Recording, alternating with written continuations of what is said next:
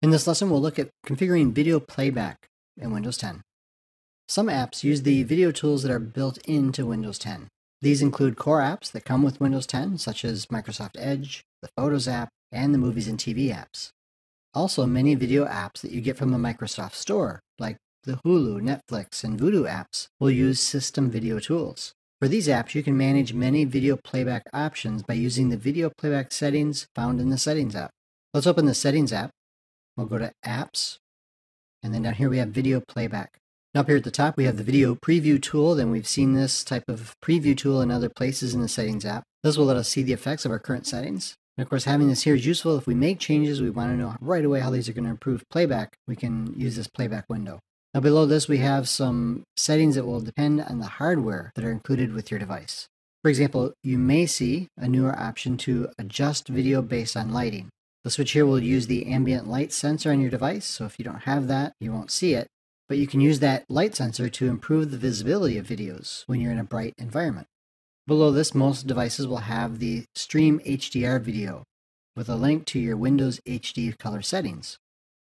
Now, HDR is a popular option now for streaming, digital video, and for even games. While the settings acknowledge HDR, your device really needs to have the screen and the video hardware that can make use of HDR for this to be a benefit.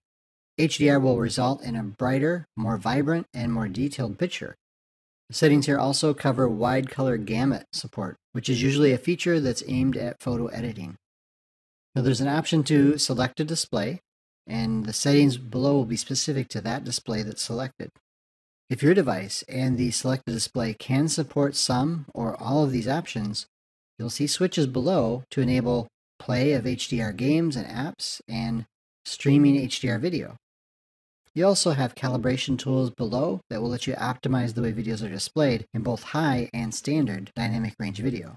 If you have a portable device, scrolling down you'll also be able to see battery option settings. Now this will let you see what the current default settings are for your device for using HDR processing when you're running on battery power. Checkboxes again would let you be very granular in how HDR content is handled when running on a battery. This dropdown will either give priority to extending your battery life or to the image quality.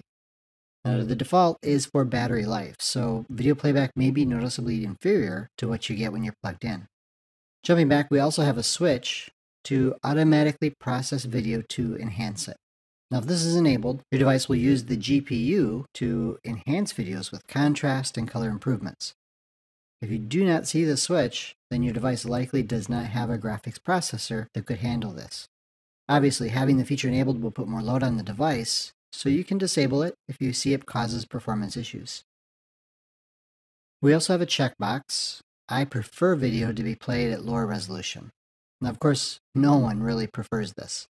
But as you can see, this is referring to bandwidth when streaming. Most streaming services will adjust video quality automatically to match your bandwidth. However, if your network or internet has problems keeping up and your video is always buffering, then you may just need to check this box and use a lower resolution. We also have battery options here. Now, similar to what we saw earlier with HDR video, you can select the standard default video playback to be optimized for battery life or for image quality. You may also see the option to check the box to not process videos when on battery. Now this is referring to the switch above that would use the GPU to enhance the video playback. We also have another checkbox shown here to play video at a lower resolution when on battery. Just looking at all these settings, you can see that we have quite a few tweaks we can make to balance our battery life and computer processing load, as well as to optimize our network bandwidth that's available. All of this is just within our video playback settings. Depending on your device and your circumstances, you may want to tweak some of these settings to really optimize your video playback. In this lesson, we've looked at configuring video playback.